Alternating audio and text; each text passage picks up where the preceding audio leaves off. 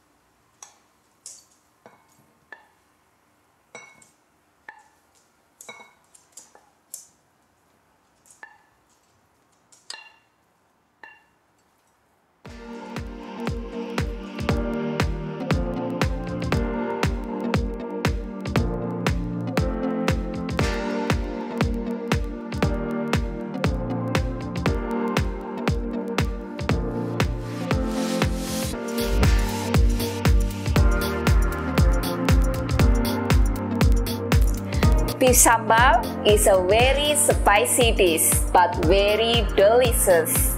The beef broth is very tasty too.